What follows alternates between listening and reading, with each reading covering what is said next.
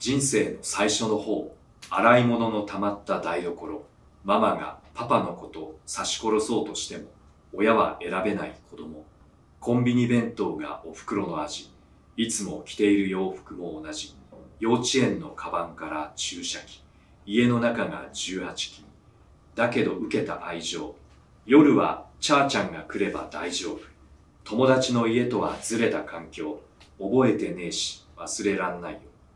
弟とご飯に卵かけた。一家団らんに憧れた。人が聞いたら唖然としそう。誰にも言えない家庭の事情。うるせえ黙れ、ほっといてくれよクソババア。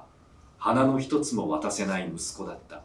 でも今ならそう。いや、今更そう。曲を送ろう。ろくでもないクズの参加。親父が出て行った思春期。知らねえホストが寝てた自分ち。あんたなんか産まなきゃよかった。こんな家生まれなきゃよかった。説教も発狂もうっせえよ。安らぎは爆音の重低よ。前よ犯罪逮捕3回。転がる錠剤と愛の残骸。留置所鑑別少年院。家庭裁判所も常連に。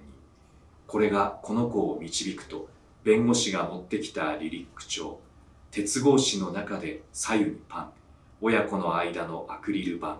こんな曲は名誉毀損死ぬほど憎んだ家庭の事情。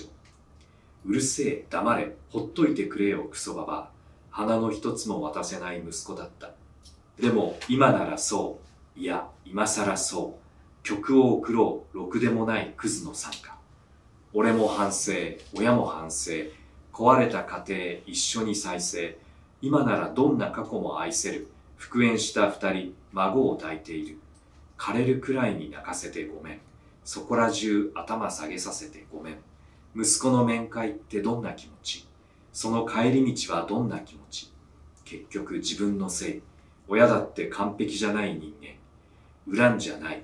ありがとうが言いて危ねえ。危うくまともな人生。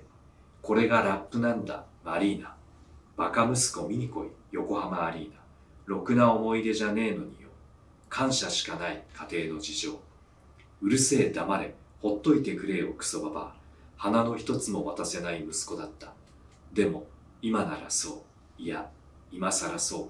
曲を送ろう。ろくでもないクズの参加。ゾーンで家庭の事情でした。